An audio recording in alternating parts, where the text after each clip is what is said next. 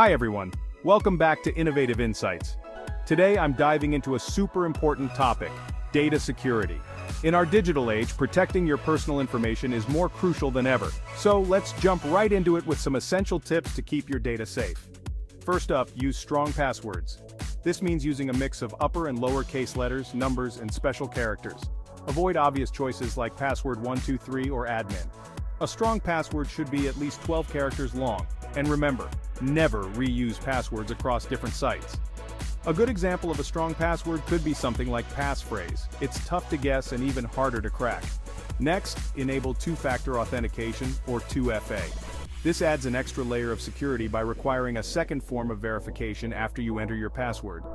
This could be a code sent to your phone, a fingerprint scan, or a special app like Google Authenticator. Even if someone gets hold of your password, they still can't access your account without that second factor. Always lock your laptop when you're not using it, even if you step away for just a minute. It's simple. Just press Windows plus L on a PC or Command plus Control plus Q on a Mac.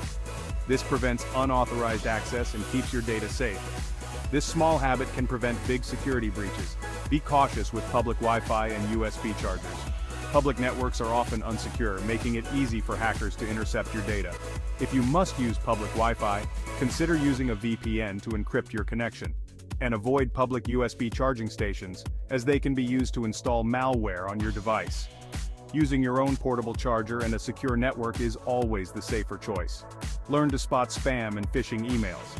These emails often look legitimate but are designed to steal your information.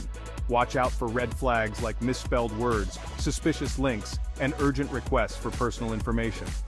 Always verify the sender's email address and never click on links or download attachments from unknown sources. Finally, regularly back up your data to cloud services like Google Drive or OneDrive. This ensures you won't lose important files if your device is lost, stolen, or compromised. Set up automatic backups to make this process hassle-free. It's a simple step that can save you a lot of headaches in the long run, and there you have it. 6 essential tips to keep your data secure. If you found this video helpful, make sure to give it a thumbs up and stay tuned for more tech tips and tricks. Stay safe out there and see you next time.